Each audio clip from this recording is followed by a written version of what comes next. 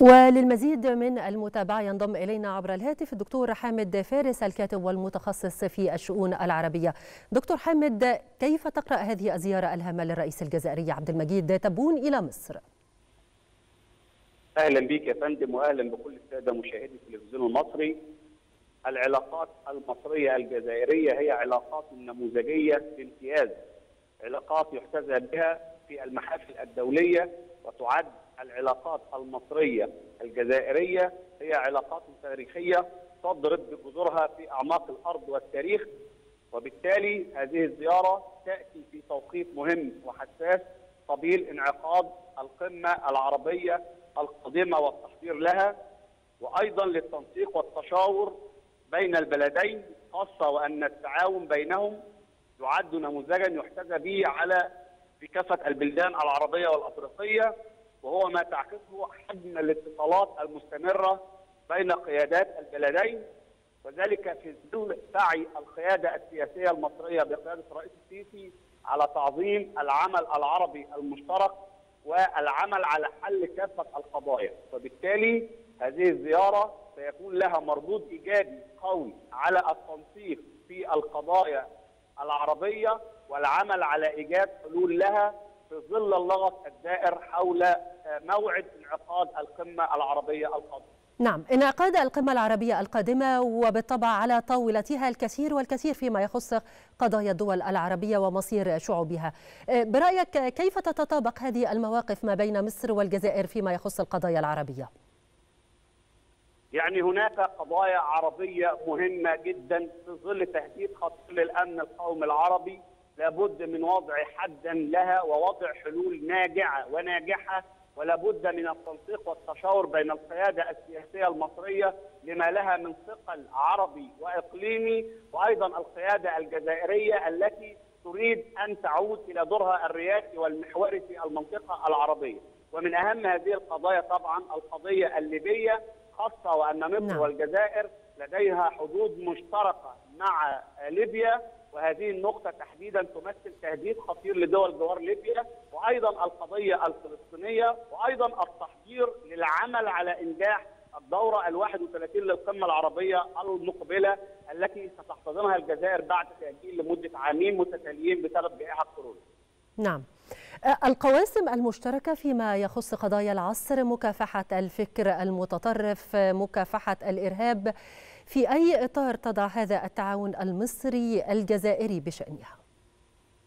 أنا بشكرك على هذا السؤال لأن مصر والجزائر لديهم باع كبير في حل القضايا التي تمس الأمن القومي العربي خاصة وأن مصر والجزائر لديهم تجربة رائدة في مكافحة الإرهاب خاصة وأن الجزائر في الفترة الأخيرة تعرضت لبعض العمليات الإرهابية وخاصة من أن انتشار داعش في منطقة الساحل الأفريقي يهدد الدولة الجزائرية وبالتالي تنسيق الجهود وخاصة وأن الإرهاب عابر للحدود وتبادل المعلومات بين الجانب المصري والجزائر في هذا المجال تحديدا وهو مجال مكافحة الإرهاب من الممكن أن ينعكس بصورة إيجابية قوية على يعني القضاء على هذه الظاهرة البغيضة التي تهدد الأمن والسلم ليس فقط في المنطقة العربية ولا في الشرق الأوسط ولكن في العالم أجمع. وبالتالي الدولة المصرية لديها تجربة ملهمة ونجحت في القضاء على الإرهاب وتريد الجزائر أن تستفيد أيضا من التجربة المصرية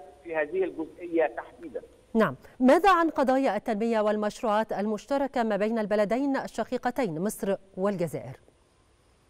يعني هي هذه الزيارة سيكون لها مردود إيجابي على تعزيز وتمكين العلاقات الاقتصادية خاصة وأن العلاقات بينهم لديهم روابط تاريخية وأيضا هناك توافق اقتصادي كبير في ظل أنه من الممكن أن تنعكس التقارب السياسي على العلاقات الاقتصادية وأن يكون هناك نوع من أنواع التعاون الاقتصادي المثمر الذي يعود على الشعبين الشقيقين مصر والجزائر بالخير خاصة وأن مصر نجحت في السبعة اعوام الفائتة بتقديم مردود إيجابي قوي وناجح في تجربة اقتصادية ليست ملهمة لمنطقة الشرق الأوسط ولكن ملهمة للعالم أجمع.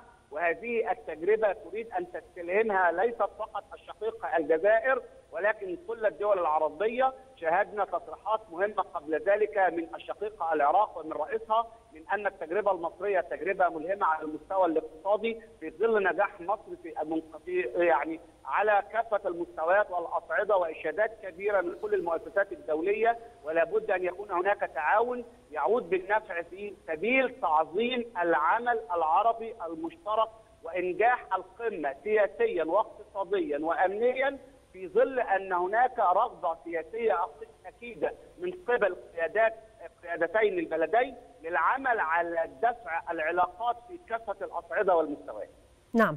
أي التحديات المشتركة ما بين مصر والجزائر وفيما يخص قضايا الأمن القومي العربي؟ يعني التدخل في شؤون الدول العربية التهديدات التي قد تأتي من الخارج أو العناصر والمرتزقة التي ربما تعاني منها مصر والجزائر لتواجدها في الأراضي الليبية وعدم نقائها بالشكل الكامل. يعني كيف يكون التغلب على هذه التحديات؟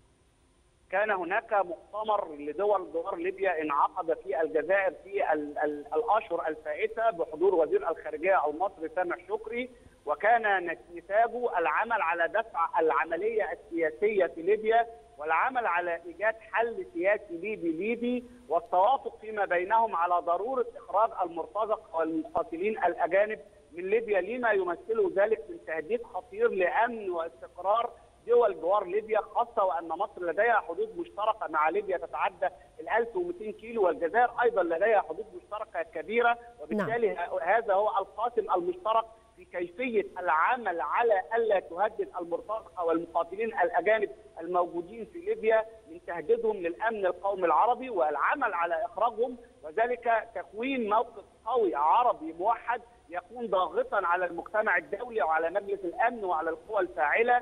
للعمل على إيجاد طريقة ووسيلة تكون ناجعة لإخراج كافة المرتزقة والمقاتلين الأجانب من ليبيا وأيضا عنصر آخر وهو عنصر الإرهاب الذي يمثل تهديد خطير لي ليس فقط في ظل إعادة داعش وانتشاره والعمل على أن تكون منطقة الساحل الأفريقي هي منطقة جديدة يعيد التناغم بها ويعيد ويحاول أن يعيد انتشاره لما يمثل تهديد خطير للجزائر وبالتالي تبادل المعلومات بين بين الدولتين الكبيرتين سيكون له انعكاسات إيجابية كبيرة وبشكل لا محدود في كافة الاصعده نعم. في القضاء على آفة الإرهاب باعتباره آفة عالمية خاصة وان الإرهاب أصبح عابرا للحدود بين الدول. أشكرك جزيل الشكر الدكتور حامد فارس الكاتب المتخصص في الشؤون العربية.